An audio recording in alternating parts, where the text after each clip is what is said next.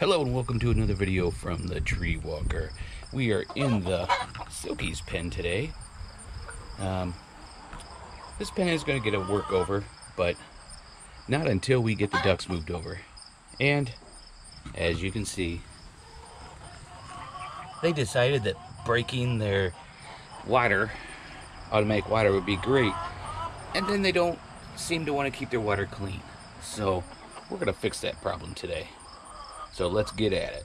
Well, first I'm going to do is I'm going to cut off this and we'll hook it up to the new system and I'll show you how I'll glue together the new system. Okay, here we go on our beautiful workbench. It's just a couple pallets put up on top of a couple blocks. These are project pallets that I get for free. Um, gonna turn them into something. I'd actually like to, if I can get these finished and working good, working good, um, I might want to do one of my walls inside the house with a bunch of these because the paneling's on there is coming down and these would look good maybe like a little burnt and then finish them but that's beside the point. Um, you can see I don't have my arm guards on. Um, hopefully I'm staying out of the sun enough that it won't bother them hopefully. Okay.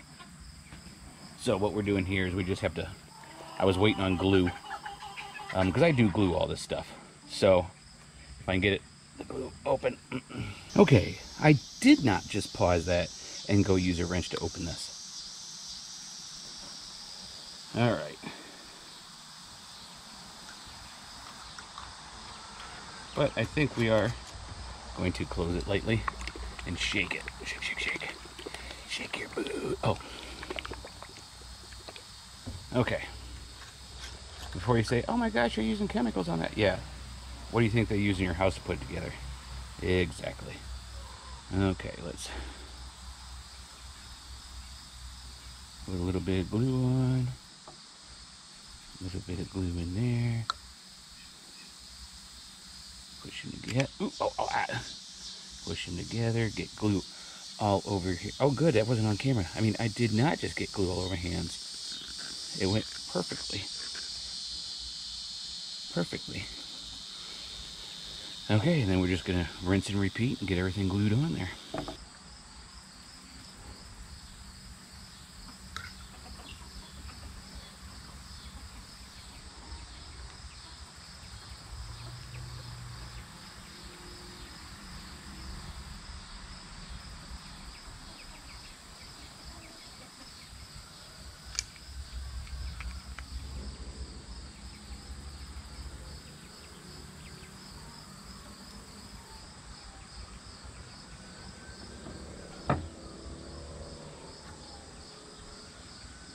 Okay, and there we have it.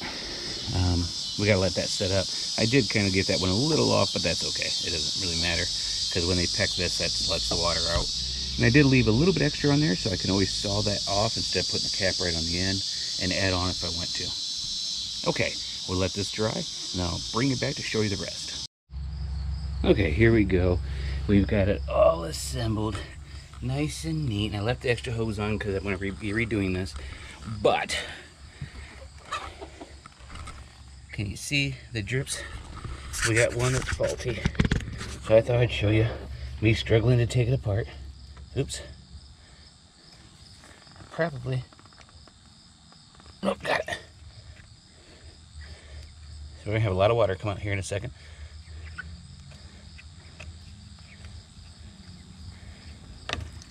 Just like that. Now let's put the new one in. Get it started hopefully right. Come on. There we go. That should do it. The other rubber seal was stuck in the way there.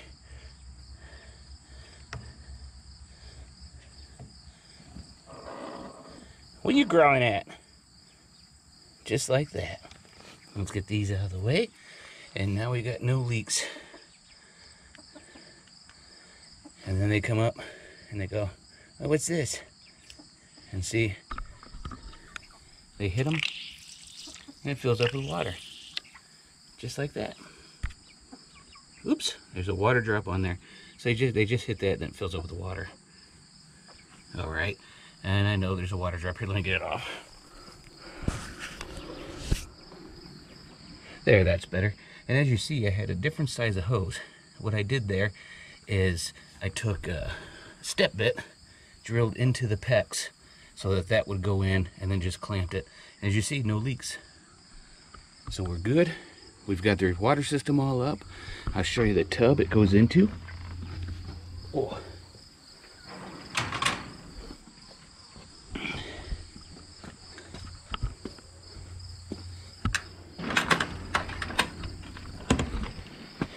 Okay, and here's the, the water receptacle where the water goes into.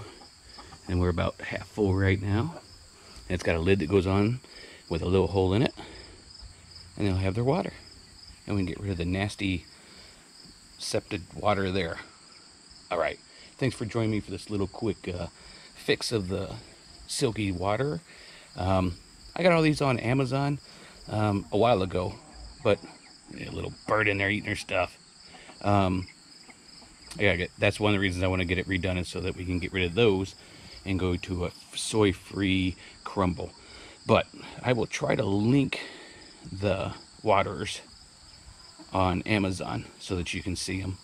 Uh, they work good. The ducks even use them. They're upside down. The duck found out it could actually go up and tap it with its beak and get a drink so it actually works for them too. I still give them water though. All right, thanks for joining me. Hope to see you on the next one. And remember, stay live out there and keep on surviving.